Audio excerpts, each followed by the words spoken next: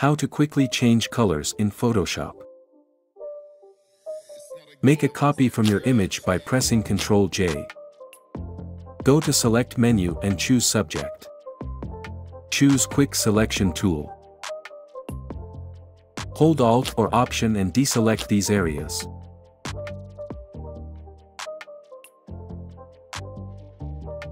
Create a hue saturation adjustments layer. Click on Hand tool. Take a sample from the color you want be changed. Pick eyedropper tool and take sample from other areas. Play with hue slider to match the color.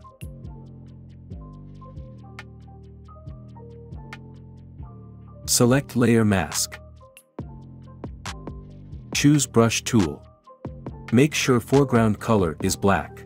And fix these points. This is the result. Follow for more tutorials.